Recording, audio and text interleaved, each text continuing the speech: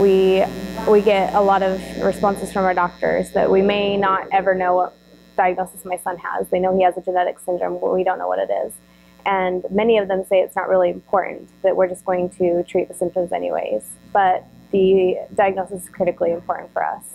Um, my son has one big condition, multiple suture craniosynostosis, that went uh, undiagnosed for nearly three years, one month shy of his third birthday is when we found out, and it required two, surgery, two surgeries to repair. We may have multiple surgeries in the future, and it has caused irreparable brain damage as a result. This is just one example why it would be beneficial to have a diagnosis of what type of syndrome we're dealing with, what type of symptomology are we going to see, what type of things can we expect, what can we do now to prevent further and future problems down the road.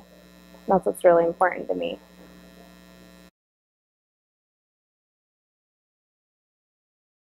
It affects people and their families on a daily basis. It's something that is a critical part of my world right now. Every day I fight for my son and fight for answers and I want to know what's going on. I want to know how long my son may be with me. I want to know if there's things I should be doing right now to lengthen his life and make him more comfortable because of his cognitive delays and because of a condition he has, hypoesthesia. He doesn't respond to pain as typical kids. And so it would be helpful to even know if there's certain conditions he has that are causing him pain that I'm not aware of that I can do to make him feel more comfortable because he's not able to show me when he's in pain.